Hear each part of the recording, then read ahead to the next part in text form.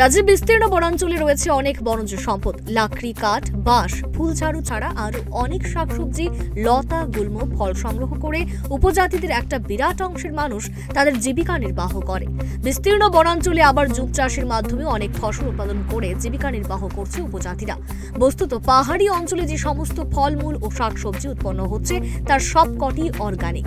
যেগুলি মানব শরীরের জন্য অত্যন্ত প্রয়োজনীয়। শনিবার ত্রিপুরা জৈব বৈচিত্র্য বোর্ড ও ত্রিপুরা স্ক্যাট ফার্ম প্রকল্প যৌথভাবে রাজধানীর হেরিটেজ পার্কে আয়োজন করেছে বনখাদ্য উৎসব ये आज फॉरेस्ट डिपार्टमेंट द्वारा फॉरेस्ट फूड फेस्टिवल ऑर्गेनाइज किया गया है इसका मुख्य कारण ये है कि ये फॉरेस्ट से जो अलग अलग तरह के फल मूल राइजोम अन्य अन्य चावल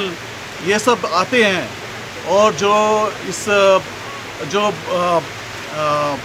मार्केट में आते हैं उसको पॉपुलराइज किया जाए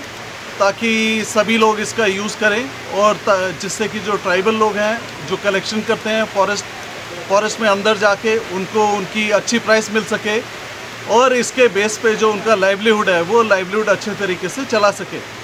और साथ ही साथ ये भी मैसेज देना चाहते हैं कि फॉरेस्ट से जो ये सब फॉरेस्ट फ़ूड आइटम्स आती हैं,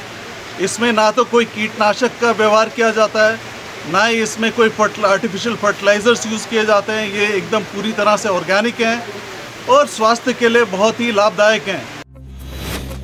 বন অধিকর্তারা এদিন বনজ খাদ্য সামগ্রীর উপর বিশেষ গুরুত্ব আরোপ করেছেন বলেন এ ধরনের খাদ্য সামগ্রীগুলি রক্ষার পাশাপাশি পর্যাপ্ত পরিমাণে খাদ্য হিসেবে গ্রহণ করলেও মানব শরীরের অনেক রোগ ব্যাধি উপশম হয়